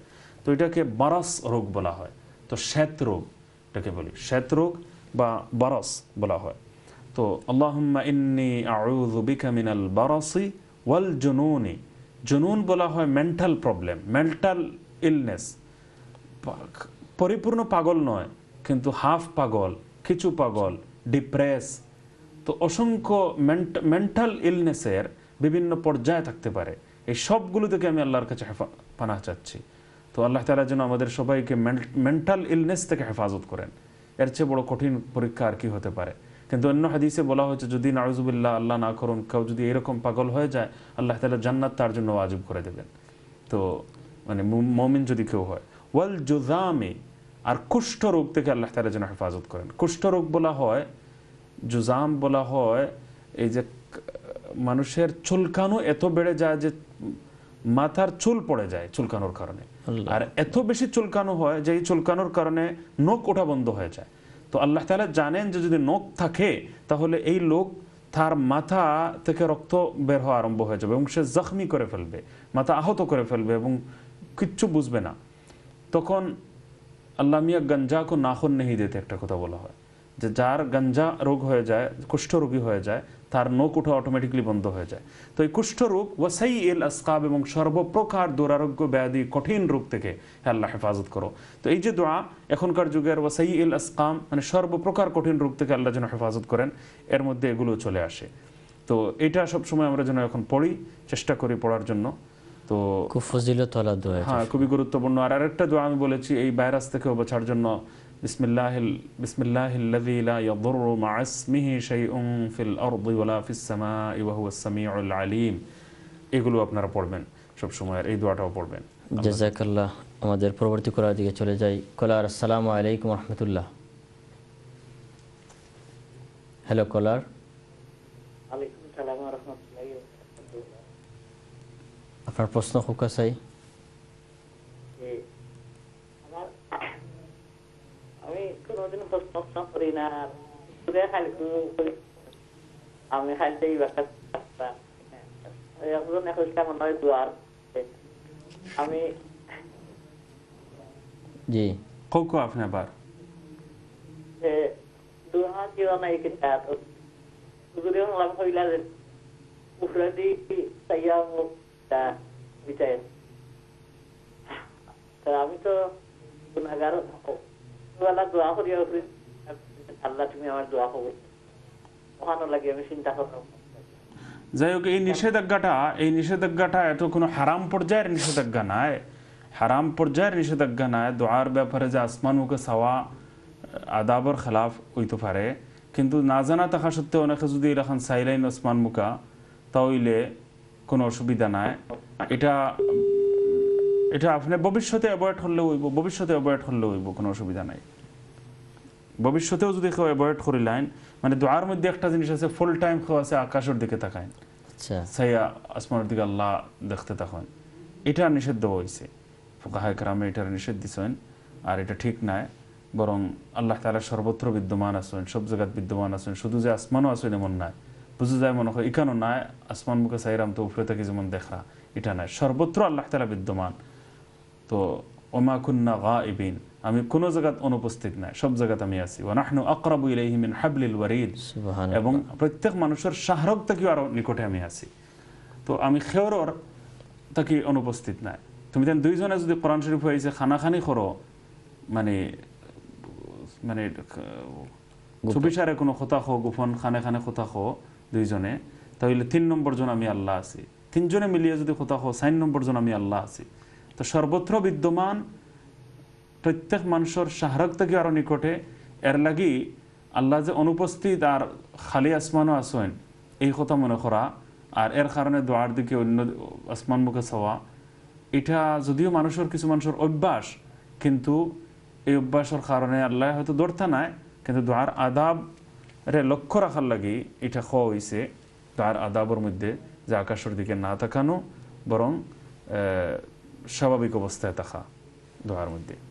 দোয়ার মধ্যে অনেক কিছু আদাব আছে যেমন মনে করো আমরা অনেকে আত উঠানের নিয়ম জানি না আত সিনার সামনে রাখতাম এটা হইল একটা নিয়ম খেওয়াসুন ওলা খেওয়াসুন ওলা তো লাগাইতাম না এর বাদে এরকম করতা না অনেকে আছে ও দোয়া আত আছে তাই এটাও নিয়ম নাই আত আতর তালু আতর গাত্তা যেটা এটা উপরের দিকে হইতো আর দুইটা একবারে লাগানি হইতো না লাগিজার লাগিজার থোড়া গ্যাপ থাকতো আর সিনার সামনে থাকতো আর এর বাদে ওরকমভাবে সিনার সামনে থাকতো, তালু উপর মুখে থাকতো, ইলা নাই, বন্ধ নাই, ফিট মুখে থাকতো না, বরং এটা তালু উপর মুখে হাতর গাত্তা আতর মাঝখান, এটা উপরের দিকে থাকতো, আর সিনার সামনে থাকতো, এরপরে লাগিজার লাগিজার লিটল বিট দূরত্ব থাকতো, ফুললি লাগাইল থাকতো না। তো এই জাতীয় কিছু আদাব আছে, এরপরে শুরুত আলহামদুলিল্লাহ আল্লাহর তারিফ করা, পরে আল্লাহ নবী সাল্লাহ ইসলামের প্রতি দরুদ শরীফ পড়া, এর বাদে নিজের গুনাহ মাফির কামনা করা হাদি এক হাদিসের মধ্যে আইসে যদি কোনো দোয়ার মধ্যে ফয়লা নিজের দোয়া মাগফিরত কামনা করা হয় নিজের গুণাহ থেকে মাফি চাওয়া হয় আর এর বাদে যদি আমার কোনো মনের আশা বাসনা আছে এটা যদি আমি চাই তাহলে আল্লাহ তালা এই দোয়ারে কবুল করবা। তো আমরা ফেলেও আশা বাসনা খাওয়া ধরি তুমি কবুল করো। তো একজনে দোয়া করে আল্লাহ দুইটা দুধর গাই দেওয়া আমারে আর যদি দিলাও দুইটা তাহলে একটা তোমার রাস্তাতে আমি সদকা করিলাম আর যদি বিশ্বাস হয় না খরমনি না না তাহলে যে একটা আল্লাহ রাস্তা দিমি রাখি আমার একটাতে দিলাম তো এটাও এলা- এলাও মানুষ আছে নাজবুল্লাহ এগুলো দোয়ার আদবর খেলাফ। দোয়ার আদাবর পরিপন্থী এই সমস্ত কথা অকল জবানও আই হয় নাজবুল্লাহ জালেক আল্লাহর সাথে এই জাতীয় সম্পর্ক আমরা ঠিক নাই। জাজাকাল্লাহ আমরা পরবর্তী কলার দিকে চলে যাই। কলার আসসালামু আলাইকুম। আসসালামু আলাইকুম। ওয়ালাইকুম আসসালাম। আমি যদি আমার কোনো হইব না যে আমি দুই মাঝাব, আমি মাঝাবর ভিতরের নামাজ আমি দুই মানে সুন্নত, সুন্নি তরিকায় পড়ি আর মানে হানাফি তরিকায় পড়লে এটা কিন্তু আমার গুণ হইব নি আমি ওখানে সৌদি আরব দেখছি ওলা পড়েন বেশিরভাগ মানুষ ওলা পড়ই নাকি। আমার কি তাইলা গুণ হইব না আমি দুই তরিকায় যে আমি পড়ি। এটা খুব কমপ্লিকেটেড একটা প্রশ্ন। আসলে মাসালা হইল যে আমরা একসঙ্গে যেমন শারীরিক ঔষধের লাগি দুই ডাক্তারর একলগে পরামর্শ নেই না। একসঙ্গে দুইজন আইনবিদর একসঙ্গে সমানভাবে দুজনের কাছে দ্বারস্থ হই না। বরং এক সময় একজনরে দিয়া মানে গ্রহণ করলে এন, এনরে পুরাপুরি আমরা ফলো করি। তো আজকে একজনের খালকে আর একজনের সুবিধাবাদী হয়ে যায় বিষয়টা। তো আসলে কাহায় ক্রামে ওলামায় ক্রামে একটা গুরুত্বপূর্ণ বিষয় হয়েছেন এই গুরুত্বপূর্ণ বিষয়টা হইল যে পুরো কোরআন হাদিসের মধ্যে দুইটা কনসেপ্ট পাওয়া যায়। একটা হলো ইত্তেবাউল হাওয়া আর আরেকটা হলো ইত্তেবাউল হুদা। ইত্তেবাউল হাওয়া বলা হয় প্রবৃত্তির অনুসরণ খাহিসাতে নফসানির অনুসরণ, নফসের খাহিসের অনুসরণ। সুবিধার অনুসরণ। আমার যেখানে সুবিধা, সুবিধাবাদী, যেখানে আমি সুবিধা পেলাম, সেই ফটো আমি নিলাম। তো একটা হলো সুযোগ সুবিধার সন্ধানে কিছু মানুষ হয়ে থাকে। তো সুযোগ সুবিধাকে ফলো করা। আর আরেকটা হলো হেদায়তকে অনুসরণ করা, আল্লাহকে অনুসরণ করা। আমার সুবিধা হলো না হলো না। আমার নফ- নফসের, আমার জন্য বেশি সুযোগ সুবিধা সম্পন্ন উত্তর না নয়। সেটা আমি দেখব না। আমি দেখব আল্লাহর হুকুম কি, আল্লাহর নবীর তরিকা কি। সুন্নত তরিকা কি? বা আল্লাহ আল্লাহ আল্লাহ রসুলের তরিকা কি? এটা আমি দেখব। তো এটা হলো হেদায়তের অনুসরণ আর একটা হলো নফসের খাহিসের অনুসরণ। তো এটা একটাকে বলা হয় ইত্তেবাউল হুদা আর আরেকটাকে বলা হয় ইত্তেবাউল হাওয়া। তো এই দুইটা কনসেপ্ট দিয়েছে ইসলাম যে তুমি নফসের অনুসরণ করবা না, তুমি মনের ইচ্ছার অনুসরণ করবা না, প্রবৃত্তির অনুসরণ করবা না খাহিসাতে নফসানির অনুসরণ করবা না, হেদায়তের অনুসরণ করতে হবে তোমাকে। তো এখন এই দুটো কনসেপ্ট ইসলাম আমাদেরকে দিয়েছে। কোরআন, হাদিস যদি পড়েন, তাহলে বিভিন্ন আয়াত এবং হাদিস পড়লে এই কনসেপ্ট দুটো আমাদের সামনে ক্লিয়ার হয়ে ওঠে সুস্পষ্ট হয়। বিধায় একটা জিনিস আমাদের সামনে সুস্পষ্ট, যদি এই দ্বার উন্মুক্ত করে দেওয়া হয়, এই দরজা যদি খুলে দেওয়া হয়, তাহলে যে জিনিস থেকে কোরআন, হাদিস বিভিন্ন আয়াতের মধ্যে বিভিন্ন হাদিসের মধ্যে বিভিন্ন টেক্সটের মাধ্যমে আল্লাহ এবং আল্লাহ রসুল আমাদেরকে নিষেধ দিয়েছেন এবং যে পথ পরিহার করে চলতে বলেছেন বাদ দিতে বলেছেন অর্থাৎ তোমার নফসের খাহিসের অনুসরণ তুমি করবা না সেই পথটা খুলে যাবে। এখন কালকে একজনের আজকে একজনের মানুষ সুবিধাবাদী হয়ে যাবে। শুধু এই কনসেপ্টটা নষ্ট হয়ে যাওয়ার ভয়ে ওলামায় কারাম আরেকটা ফতোয়া দিয়েছেন সেটা হলো যে সাধারণ মুসলমানদেরকে সাধারণ মুসলমানদেরকে মানে কয়েকজন ইমামের একসঙ্গে অনুসরণের ইজাজত দেওয়া ঠিক নয় পারমিশন দেওয়া ঠিক নয়। যদি এই পারমিশন দেওয়া হয়, তাহলে মানুষের মধ্যে ইত্তেবাউল হুদা বা হেদায়েতের অনুসরণের মনোমানসিকতা শেষ হয়ে যাবে, দূর হয়ে যাবে এবং সুবিধাবাদী হয়ে যাবে। সবসময় সে তার সুযোগ সুবিধা কোন দিকে, সেটা সে দেখতে থাকবে আর হেদায়তের অনুসরণের যে কনসেপ্ট এটা নষ্ট হয়ে যাবে। তো এই জন্য ওলামায় কারাম বলেছেন যে কয়েক তরিকা একসঙ্গে অবলম্বন করা এটা ঠিক নয়। কোন কোন মাসালার মধ্যে যদি ওলামায় কারাম এই পারমিশন দেন যে বিশেষ অসুবিধার কারণে অন্য মজহবকে আমরা ফলো করতে পারব। তাহলে সেটা জায়জ হবে। তো আমরা মনোক্তি এটা যেন না করি। জাজাকুমুল্লাহ খায়রান। সম্মানিত দর্শক শ্রোতা, আমরা একটা ছোট্ট বিরতিতে যাচ্ছি। ইনশাআল্লাহ ছোট্ট বিরতির পর আবারও আপনাদের সামনে হাজির হব এবং কন্টিনিউ ইনশাআল্লাহ মুমিনের জীবন আপনাদের সঠিক উত্তর দিয়ে যাবে। আসসালামু আলাইকুম রহমতুল্লাহি ওবরাকাত তোমরা কোন কোন অস্বীকার? আসসালামু আলাইকুম রহমতুল্লাহি ওবরাকাত।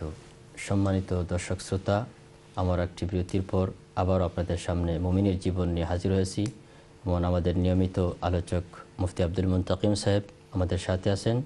আবারও আপনাদেরকে ধন্যবাদ এবং মুবারকবাদ জানাচ্ছি।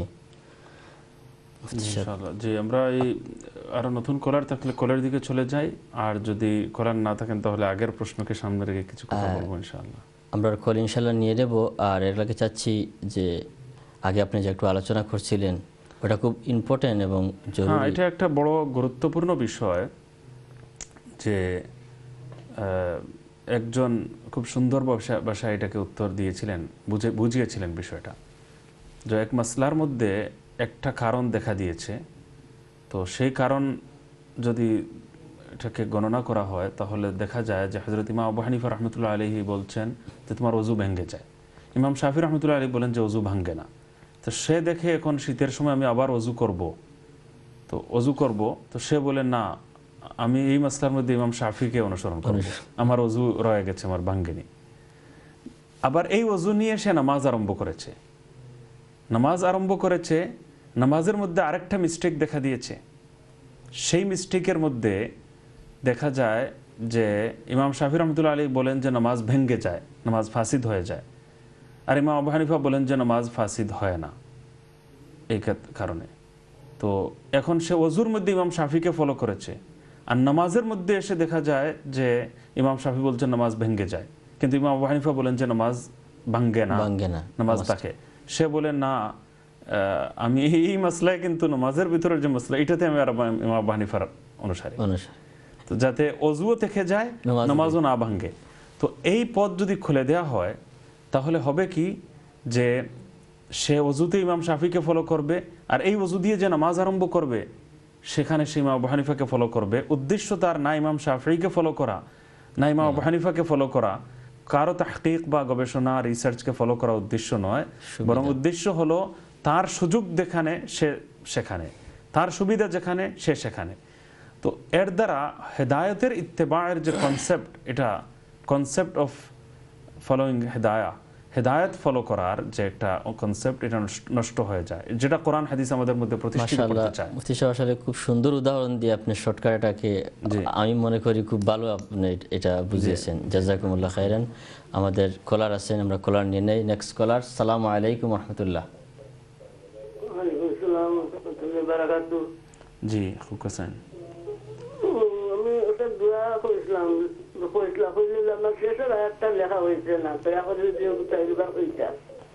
جي اللهم إني أعوذ بك من البرص والجنون والجذام وسيء الأسقام. والجنون وسيء ال وسيء ال همزة ديا جوي جوي جوي ال ال همزة ديا বেঙ্কু واو زبر وا سين يا زبر سي يا زر ي وسيء همزة لام زر ال وسيء الأسقام سين قاف ألف ميم. ইল আসাম ইল আসাম جو الأسقام হুম। ওকে আসসালামু আলাইকুম ওয়ালাইকুম আসসালাম রহমতুল্লাহ বরকাত আল্লাহ তালা যেন পড়ার তৌফিক দান করেন যদি আরবি দোয়া মনে না থাকে তাহলে এটাও বলতে পারবেন যে আল্লাহ সর্বপ্রকার কঠিন রোগ ব্যাধি থেকে যেগুলোর নামও আগে শুনিনি। আল্লাহ আপনি এগুলো থেকে আমাদের আপনার কাছে আমরা পানাহ চাচ্ছি আশ্রয় কামনা করছি। এই মর্মে দোয়া করবেন। আল্লাহ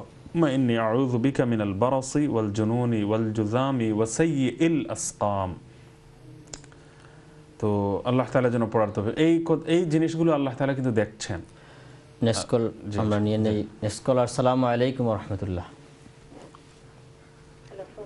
আলাইকুম জি আপনার প্রশ্ন হোক প্লিজ একটু জোরে হইবা প্লিজ একটু লাউডলি যে শোনা জি হোক হোকা যে ঠিক আছে কিতাব হচ্ছে না কথা? অজুর দোয়া আপনি আচ্ছা হুনক কোসেন হোক আপনি আর জি, ঠিক আছে না তাহলে দাঁত মাফুই নিয়ে বারিক লি ফির আমি আমি আসলে আওয়াজ ভাঙ্গি ভাঙ্গি আর কেন? একটু আওয়াজটা একটু ক্লিয়ার না আপনি একটু ক্লিয়ারলি হোকা লাইন ফোনের লাইনের সমস্যা। গরল ল্যান্ডলাইন দিয়ে ফোন করা বেশি বালা। মোবাইল দিয়ে ফোন করলে একটু আল্লাহুম্মা এখন হোকা মাফুই আল্লাহুম্মা গফিরলি বাদে জাম্বি। হ্যাঁ আল্লাহুম্মা গফিরলি যামবি ওয়াসি লি ফি দারি। জি। বারিক লি ফি ঠিক আছে ঠিক আছে ওয়া- ওয়া- ওয়াবারিক লি ফি রিজকি। ফি রিজকি। জি ঠিক ঠিক আছে। ইনশাআল্লাহ। ঠিক আছে সঠিক। আলহামদুলিল্লাহ। জাজা নেক্সট কল আসসালামু আলাইকুম। ওয়ালাইকুম আসসালাম রহমতুল্লাহ। জি জনাব। খুব আপনার ভাই আমার একটা আমার একটা কোয়েশ্চেন আছিল। জি হোকা আহ, যে নমাজের সময় না সেজদার সময় বহুত মানুষে দেখি পাও মানে মাটির থেকে উঠাই লাই। জি। দুইও পাও যদি মাটির থেকে উঠি যায় ন সেজদা করার সময়। নমাজ কি ওই বনি না নমাজ বান্ধি দিব এগুলো হুকুম একটা কইবা নাকি জি ইনশাল্লাহ। আর কোনো প্রশ্ন আছে নি আপনার? জি না ঠিক আছে। ওকে ইনশাল্লাহ মুফতি সাহেবে খুব সুন্দর প্রশ্ন করছেন যে এইরকমভাবে সেজদা থেকে যারা ফাও উঠাইলেন এরকম উঠানে ঠিক নাই। উঠানে ঠিক না এটা নিয়ম নাই। দুইও ফাও কেবলা মানে থাকতো আর আঙ্গুলগুলা কেবলার দিকে থাকতো এই নিয়ম অবলম্বন করা উচিত। বরং আহ, মহিলা হলে তো যত ফারণ মিলাইয়াও রাখবা তাই বাম ডাইন সাইডে দিয়া তন্তানোর ফাও বাহির করে দিবা এবং মিলাইয়া রাখবা শরীরে। আর পুরুষ হলে নিচ সাইড ওরকম থাকব উপর সাইড থোড়া খোলা থাকব। আর আঙ্গুলগুলা এইরকমভাবে কেবলামুখী থাকব। আর এইভাবে থাকব আর আশা করি বুঝতে পারছেন। দয়েফা উঠি গেলে দুইও উঠতো না, বরং অন্তত যদি সুবহান রব্বি আল আলা অতখান খোয়া পর্যন্ত, এক তসবিহ পরিমাণ যদি থাকি যায় মাটির লগে লাগাইল ফ্লোরের লগে, তাহলে সেজদা ঠিক হয়ে যাব। সেজদা কোনো রকম ওই যাব গিয়া আর যদি এক তসবিহ পরিমাণ সময়ও যদি মাটির লগে লাগাইল না থাকে, তাহলে কিন্তু সেজদাও হইতো না। সেজদাও প্রপার হইতো না। এই নামাজ রিপিট করা লাগবো। তো এর লাগি খুব কঠিন একটা ব্যাপার। অনেকে একটু রাখি আর বাদে উঠাইন যেহেতু তো এটা সেজদা কোনো রকম ওই যায় কিন্তু এটা সুন্নাতর খেলাফ তরিকার উল্টা নিয়মের উল্টা মাসালার উল্টা খাজ করার।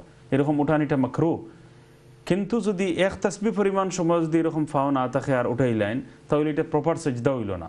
সেজদা হইল কি ও ফাও মাটিত লাগাইল থাকতো আর এই অবস্থায় আমার মাথা গিয়া সেজদার জায়গার মধ্যে এই পরিমাণ থেকে বেশি সময় গেলে কি ফা উফরে থাকলে নমাজ ফাঁসি দিয়ে যায়? না এক তাসবি পরিমাণও যদি মাটিত লাগাইয়া না রাখেন এই চান্সটাও হয় না এই সুযোগটাও যদি হয় না খরর মানে তেন ফুল টাইমও রাখছেন বা খালি জাস্ট লাগাইছেন আর সইয়াও উঠাই লিছেন।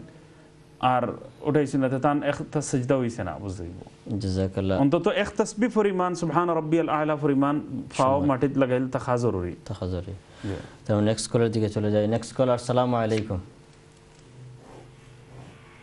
জি কলার সালাম আলাইকুম।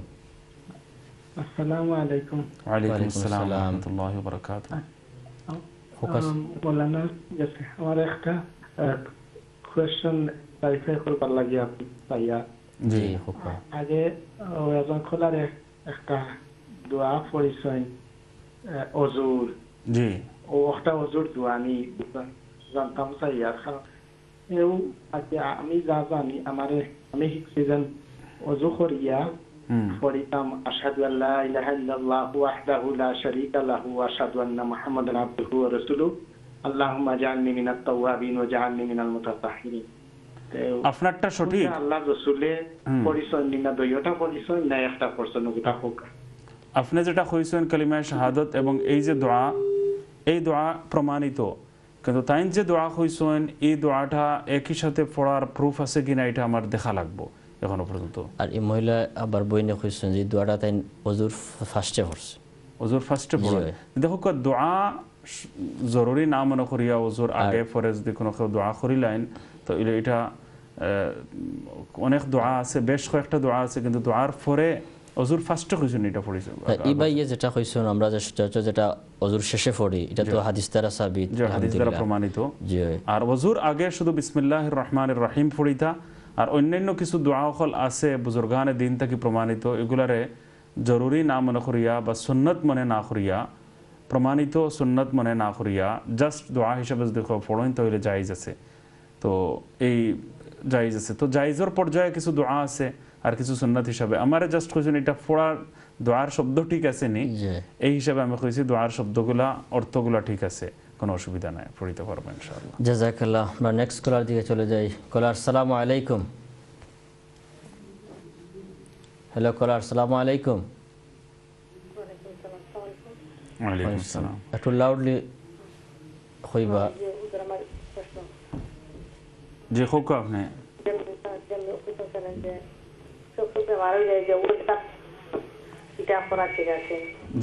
আবার একটু রিপিট করে কইবা নি অজিফা কত মান অজিফার কত অজিফার খতম।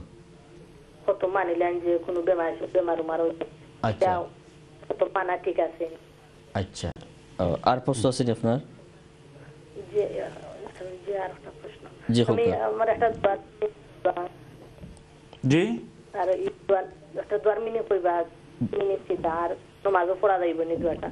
কোন দোয়া? খোকা। এই আল- যে দোয়া নুকতা আল্লাহুম্মা আল্লাহুম্মা ইন্নী আউযু বিকা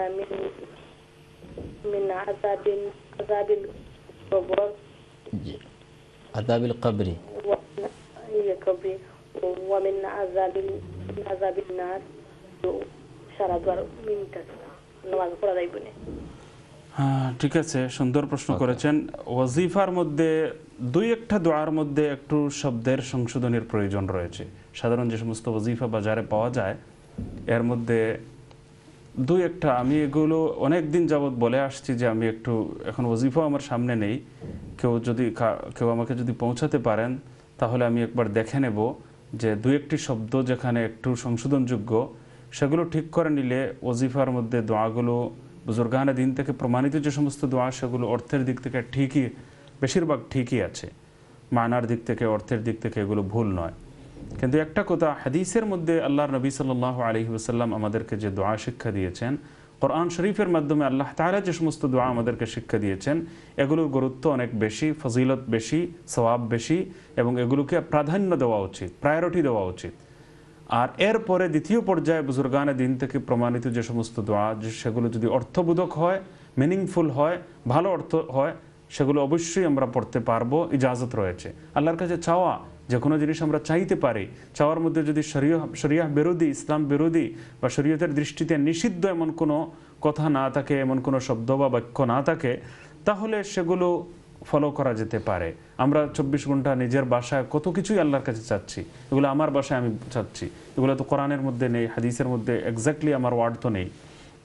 যাই হোক, তো এই জন্য ওজিফার মধ্যে এই দু একটা জিনিস ছাড়া যদি কেউ খতম মানে ওজিফার কথা বলে ফেলেন তাহলে মান্নত করাটা কোনো আইডিয়াল জিনিস নয়। কিন্তু দোয়া হিসাবে যদি বলেন যেগুলো আমরা পড়ব বা কিছু সুরা আছে সেগুলো আমি পড়ব। ওজিফার মধ্যে তো বেশ কিছু সুরা কোরআন শরীফের অনেকগুলো সুরা রয়েছে।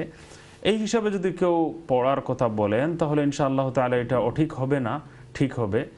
আর দ্বিতীয় হলো যে দোয়া আপনি বলেছেন এটা নফল নামাজের সেজদার মধ্যে নফল নামাজের সেজদার মধ্যে এই দোয়া পড়তে পারবেন। আল্লাহ ইন্নি আউযু বিকা মিন আযাবিল কবর। ওয়া মিন আযাবিন নার তো আল্লাহ ইন্নি আউযু বিকা মিনাল আযাবিল মিন আযাবিল কবর আমি কবরের আযাব থেকে আল্লাহ আপনার কাছে পানাহ চাচ্ছি এবং দুজখের আযাব থেকে শাস্তি থেকে আমি আল্লাহ আপনার কাছে পানাহ চাচ্ছি।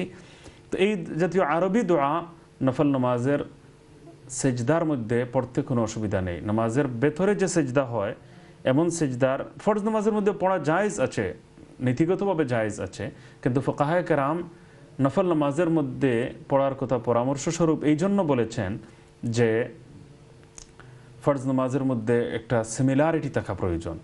এখন জমায়েতের মধ্যে ইমাম সাহেব তো আর এরকম যদি পড়া আরম্ভ করেন কেউ মুক্তসর পড়বেন কেউ লম্বাটা পড়বেন এভাবে বিরক্তিকর অবস্থা হবে সিমিলারিটি থাকবে না। আর এর দ্বারা অস্বস্তি বোধ হবে। তো সেজদার দোয়া যে কবুল হয় এর মধ্যে যেহেতু হাদিসের মধ্যে ফরজ আর নফলের সেজদার মধ্যে কোনো তারতম্য করা হয়নি সব সেজদা ব্যাপকভাবে রাখা হয়েছে এই জন্য এই মকসদটা হাসিল করা এই উদ্দেশ্য সাধন করা বা এই ফজিলত অর্জন করা করার যে সার্থকতা সেটা নফলের সেজদার মাধ্যমেও সম্ভব আর ফরজের মধ্যে সিমিলারিটি রক্ষা করলে শিক্ষা দেওয়ার ক্ষেত্রে এবং সর্বত্র নামাজ পড়ার ক্ষেত্রে অসুবিধাজনক কোনো অবস্থার যাতে সৃষ্টি না হয় সেই হিসাবে পরামর্শসূচক একটা কথা ফোকা একরাম বলেছেন যে নফলের সেজদাগুলোর মধ্যে যাতে আরবি দোয়া করা হয়। এই দোয়াটা আপনি পড়তে পারবেন ইনশাআল্লাহ। পরবর্তী কুলার দিকে চলে যাই। কলার আসসালামু আলাইকুম রহমতুল্লাহ কলার আসসালামু আলাইকুম। ওয়ালাইকুম আসসালাম।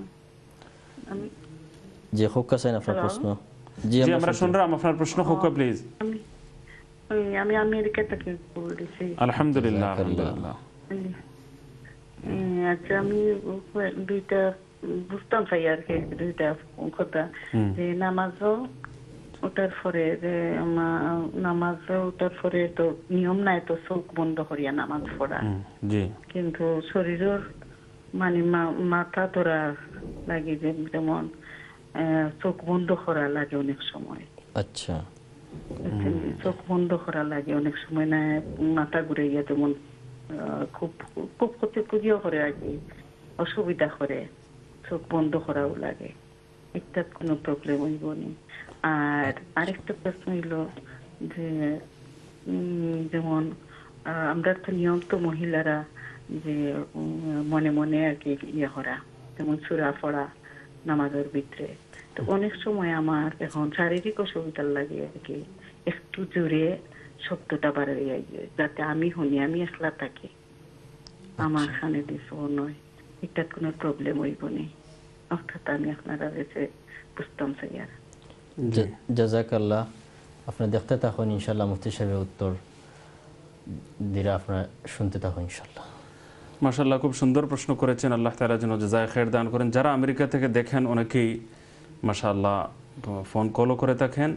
সবাইকে আমি ধন্যবাদ জানাই, মুবারকবাদ জানাই। সবাই আমাদেরকে দয়া স্মরণ রাখবেন।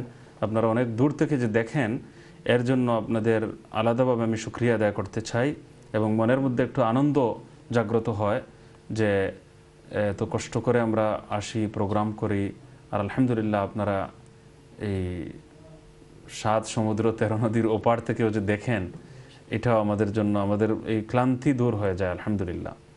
আল্লাহ তালা আপনাদেরকে সুস্থ এবং ভালো যেন রাখেন। আল্লাহ আমিন। নামাজের মধ্যে জেনারেলি দাঁড়ানো অবস্থায় সেজদার জায়গার দিকে তাকানো বসা অবস্থায় খুশের দিকে তাকানো রকুর অবস্থায় পায়ের পাথার দিকে তাকানো সেজদার অবস্থায় নাকের দিকে তাকানো সালাম ফেরানোর অবস্থায় শোল্ডারের দিকে কাঁধের দিকে তাকানো এই হলো নিয়ম। কিন্তু আপনি যেটা বলেছেন যে সাধারণত অনেক মানুষ মনোযোগ সৃষ্টির জন্য চোখ বন্ধ করেন এটা নিষিদ্ধ। এই নিয়মটা ঠিক নয়। এটা সুন্নতের খেলাফ। আল্লাহ নবী সাল্লাহ ইসলাম থেকে এইভাবে প্রমাণিত নয় যে মন বেশি লাগানোর জন্য, বেশি মনোযোগ সৃষ্টির জন্য এই কাজটা করা। হজরত হাজি ইমদাদুল্লাহ মহাজির মক্কি রহমতুল্লাহ আলী একজন অনেক বড় আল্লাহর বলি অতিবাহিত হয়েছেন। মৌলানা কাসিম নানাদুর রহমতুল্লাহ আলী ওনাদেরও শেখ ছিলেন। তো হাকিমুল উম্মদ মৌলানা আশরফ আলী রহমতুল্লাহ আলীর শেখ এবং পীর ছিলেন নির্দেশক ছিলেন। তো হজরত হাজিম দাদুল্লাহ মহাজির মক্কি রহমতুল্লাহ আলিহি উনার একজন মরিদ এবং উনার কাছে যিনি নিজের আত্মশুদ্ধির জন্য আত্মনিয়োজিত হয়েছিলেন, উনি এসে বললেন যে, আমি দুই রাকাত নামাজ পড়েছি, অনেক বড় আল্লাহর বলি ছিলেন, আর আল্লাহ তালা এটাকে স্বপ্নযুগে আমাকে দেখিয়েছেন একটা সুন্দর মহিলার রূপে এই নামাজটাকে দেখিয়েছেন। তো এই মহিলার মধ্যে কোনো আইব নাই, কোনো দোষ নাই, শুধু এই চোখ দুটো বন্ধ রাখে। তো এটা তো সৌন্দর্যের পরিপন্থী। একটা মহিলাটা যদি খুব সুন্দর হয় অপরূপ সুন্দর, কিন্তু চোখ দুটো বন্ধ রাখে। তো এটা একটা আয়েব মনে হয়, দোষ মনে হয়, কমতি মনে হয়।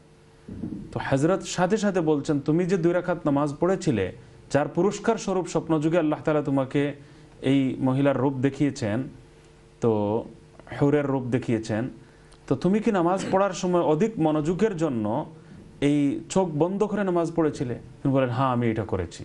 তো এই কারণে এটা সন্ন্যতের সন্ন্যত তরিকার খেলাফ হওয়ার কারণে এমনটা হয়েছে। তো সাধারণত এটা তো ঠিক নয় কিন্তু আপনি ওজরের কারণে যে মাথা ব্যথা আর না হয় মাথা ঘুরিয়ে পড়ে যাবেন এর জন্য যদি চোখ বন্ধ করতে হয় কিছুক্ষণের জন্য কোনো অসুবিধা নেই। এটা মাকরু হবে না ইনশাল্লাহ মাজুরির কারণে এটা হচ্ছে নামাজ যে পড়ছেন এটাই অনেক বড় রোগের কারণে এটা রোগের কারণে। আর সেররি নামাজগুলোর মধ্যে বা মহিলারা তো সবসময় আসতেই খেরাত পড়েন তো বেশি জোরে পড়বেন না। চেষ্টা করবেন আওয়াজ, আওয়াজটা কম করতে। বলা হয়েছে উচ্চারণটা হয়ে যাওয়া। আসল মশালা কথা হলো উচ্চারণ হয়ে যাওয়া। তো উচ্চারণ হওয়াটা জরুরি।